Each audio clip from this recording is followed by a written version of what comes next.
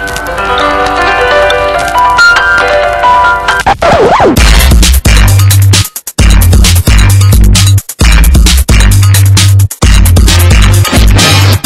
to the North Pole Expansion Power Plant, Golden Valley's newest and most efficient plant.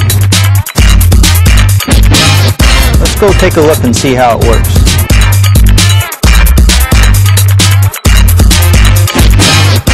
Electrical generation starts with a fuel source.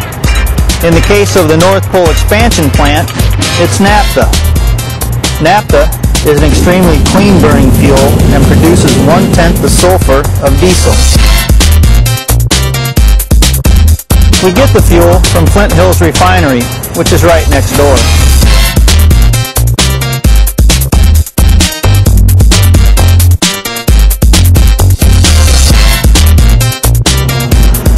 Behind this door lies the heart of the power plant.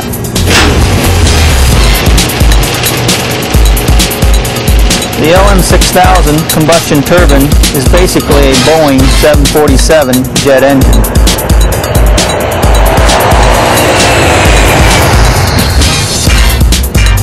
The manufacturer, General Electric, claims this is the most efficient combustion turbine available. The LM6000 turbine produces 47 megawatts of power and uses water injection to lower nitrogen oxide emissions. At full load of 47 megawatts, the combustion turbine burns about 60 gallons of naphtha per minute.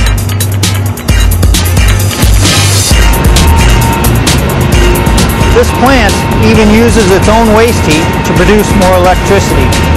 The waste heat from the jet engine travels through a duct and into the once-through steam generator where steam is produced. That steam is injected into the steam turbine, which produces an extra 13 megawatts of power.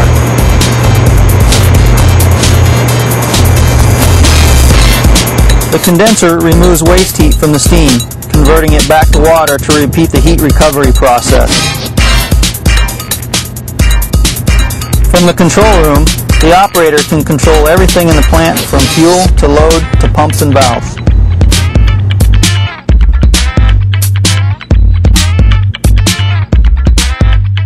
This plant was built with the future in mind. With the addition of another combustion turbine and one steam generator, we can double the capacity of the plant. And if natural gas comes to the interior, it's a simple retrofit in order to burn gas.